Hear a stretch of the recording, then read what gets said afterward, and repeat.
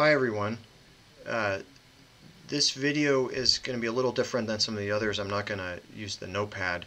Um, instead, I'm, I'm going to talk to you a little bit about uh, plotting in uh, Python. And I assume that most of you haven't uh, seen the quiver plots before, which I'm using here, which you're going to have to use for your homework. So I just want to take five minutes and cover the quiver plots in case this is something you're having a hard time figuring out uh, or even if you're not, just to familiarize yourself with it. So what I have here on the left is a Jupyter notebook uh, where I make some of these plots. And then on the right I have a couple uh, of the documentation from matplotlib, which is the plotting uh, uh, module that we'll use in Python today. So first over here, I just want to step through this code and tell you what the different parts are and highlight the two sort of new things probably that you're unfamiliar with. So I start out as I do in pretty much any Python code and I have uh, my imports at the top. And note that I'm importing NumPy and I'm importing uh, the plotting tool from matplotlib.pyplot. Um, and I also have something here to import three-dimensional plots. It doesn't look like I'm using that here, so I think that's uh, unnecessary. So we could uh, likely just comment that out and we'd be okay. Um, so this first example, I have pressure-driven flow in a slit. So this is a rectangular uh, channel with no ends, so just a just a slit here. And I have the height one, delta p1, the viscosity one, length one. Um, all that's just uh, for plotting. I could vary those. And what I'm going to do first is I'm going to create what's called a mesh grid. So let me comment out uh, uh, this stuff. I don't know if it'll let me do that in Jupyter. I'm used to a different text editor. So let me just comment this out really quick to show you what happens. So when I run this, um, I defined some number of points n. And what I have in here are two arrays. So I have numpy.zeros, uh, and I can print that out and show you what that looks like. That's just an array of zeros. And the other thing I have is a linearly spaced array, which I'm using linspace for. And that gives me something from minus h to h with 21 points. And I picked an odd number so that I would uh, you know, have even spacing between here. That's why I picked 21.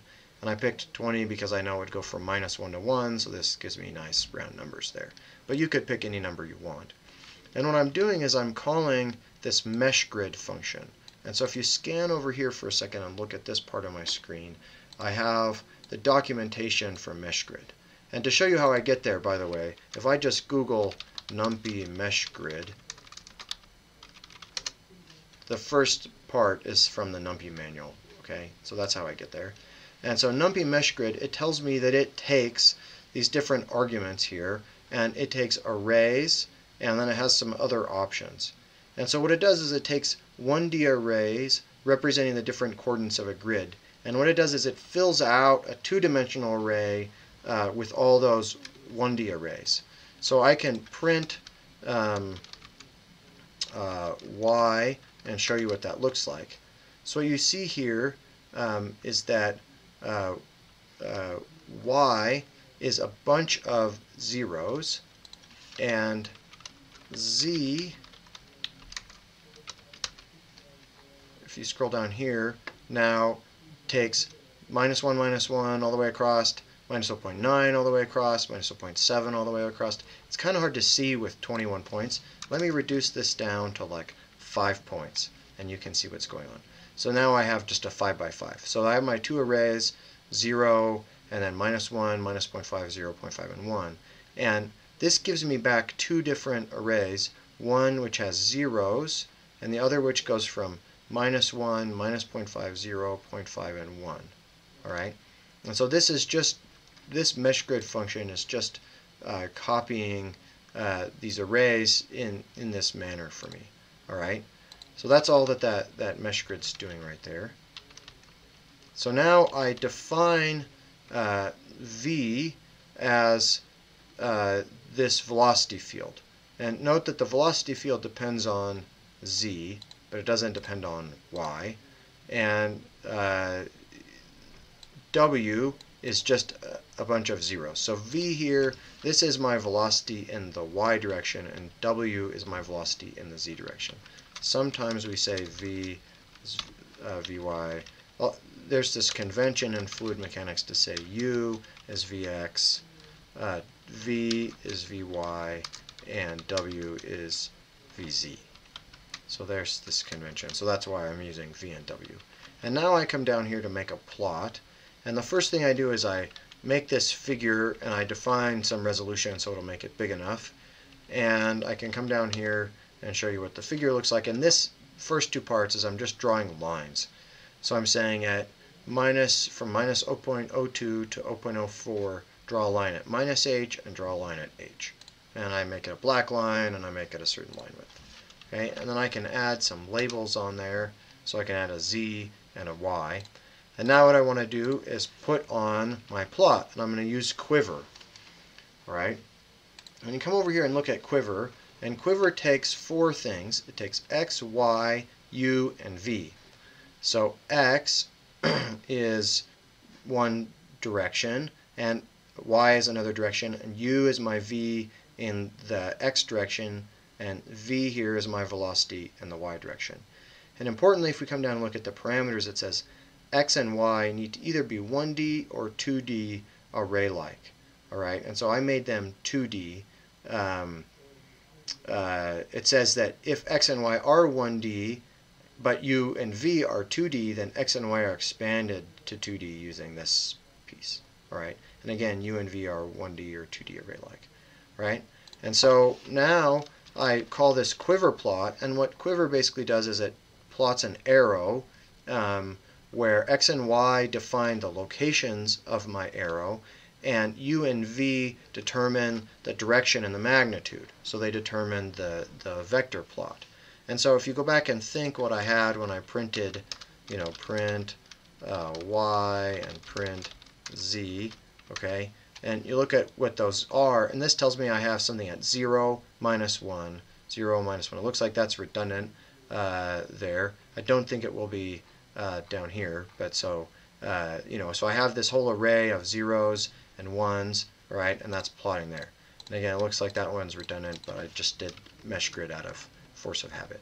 Okay, so now I plot it, and what it does is it went through and it picked that zero, and the different points I picked, um, and one of them is right on the boundary there, um, but it has a velocity of zero. So if I print uh, print v, you'll see that the velocities are zero at the top and bottom, right? And it's printing all along that direction that I that I wanted. So in this case, we should try this. This is maybe a little nervous to try, but I'll, I'll try it. Um, we didn't need mesh grid probably. I can say y is numpy dot zeros endpoints, and z is numpy dot linspace minus h to h number of points. Uh, didn't like that. So, I don't know what it is about that it doesn't like. Oh, maybe it's because W. W is numpy dot zeros number of points. Aha, that did work. Okay, so it turns out I don't need mesh grid for that guy. I'm okay. I just am plotting the one dimension.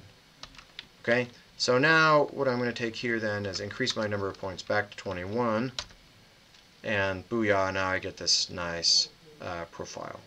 Okay, so there you go. So that's uh, the one-dimensional plot of uh, pressure-driven flow in a slit. Now what if I want to have something that has two dimensions? Now I'm going to need this mesh grid, and you're going to see that when I have this variation here, y and z um, are going to be at these different points, and it's going to matter um, what's going on here. So now I'm going to plot the flow around a sphere. And you notice I've got this uh, uh, sphere that I put in here, and I'm just taking a projection. So I'm just taking a slice through the x equals 0 plane. So I have y and z plotted here, but I have the x and 0 plane. And I'm going to again do these plots. So again, I have something very similar. I have the number of points, x is numpy zeros, and I had to shift it by 10 to the minus 16, I think, because there's a singularity uh, in the middle, and that caused a problem. I have an infinity somewhere in there. So now I define y and z as this mesh grid. And let me again come down here and put a bunch of uh, comments in so we can look at what mesh grid is doing.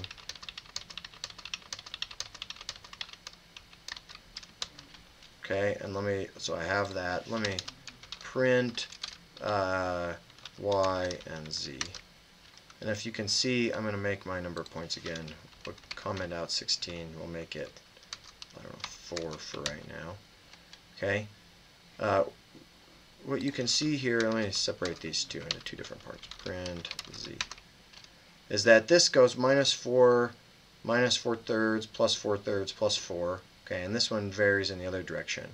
All right, so now they're all not zero, but this is again just replicating those those parts.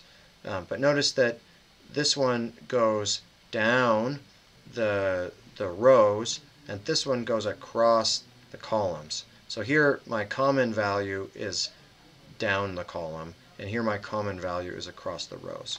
So that's what mesh grid does really nice for me. So now I have points minus 4, minus 5.333, and then I also have a point minus 1, minus 0.533, etc. So this is defining the y and z coordinates of my entire grid.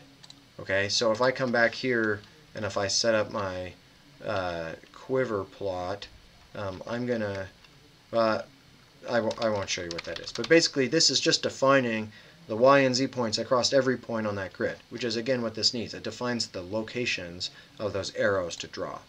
Alright, so that's what mesh grid's doing. So now what I'm doing here is I'm switching coordinates. So I defined these coordinates in x and y, but my formula for flow around a sphere turns out is in spherical coordinates. So that's also why I had to define an x value. And what I do here is I calculate r um, using uh, transitioning coordinates, okay? Um, and I don't want r to be 0, so uh, I'm kind of careful about that. And I go through and I calculate theta and phi from my r, and then I calculate v in the r direction and v in the theta direction. And then I have to go back into the coordinates for the Cartesian coordinates. And again, this step, all this stuff in here, that's not important. That's what I did so I can make a nice plot for you, but I'm just explaining what it is there. And now here I have uh, the figure and I'll explain what these different pieces do. So again, I define a figure. This has a high DPI, 600 uh, dots per inch uh, to give a nice resolution. I set the axis to be equal so that the y and z axis are equally scaled so that I get a circle instead of an ellipse. Um, and then I put quiver in. And again, I have the y and z, which are the locations of the dots of where their arrows are going to start. And then v and w define the direction and the length of the arrows. And then scale here adjusts how big, the, it's sort of a factor that changes how big my arrows are relative to each other. I can show you what that does here in a second. Width changes the size of my arrowhead, this sets my color, etc. And then I put a circle in there so you can see, I, I think it adds some nice contrast. And then I add labels and I plot the figure. So if I show this, if I run it, um, now you can see here uh, that, again, notice I turned the number of points down to just four, that I've plotted um, these arrows at just one, two, three, four points, one, two, three, four points. Okay, and you can see that I made it square, so even though this goes from minus seven and a half to seven and a half, this goes from minus four to four. Okay, if I take away the plot axis equal, what you can see is that it fits it all in, but now my circle's not a circle, it's an ellipse, even though, uh, you know, uh, I'm going from minus 4 to 4, etc. So that's why I have that plot axis equal. So now I can go ahead and rescue my figure if I come back up here and uh, remake my plot and I get something nice and pretty. And I could make it even more dense if I wanted. Instead of doing 16, I could do 20. And I get this really nice pretty figure where everything's showing. So this is the flow field around a, around a sphere in one of the planes. You can see it comes in along this direction, okay, and it's about uniform out here, and then it has to deform and go around the sphere and move. And this should look similar to you to the pictures that we made uh, in, or that I showed you in class when we were talking about drag. Okay, so I think that's all I had to show you.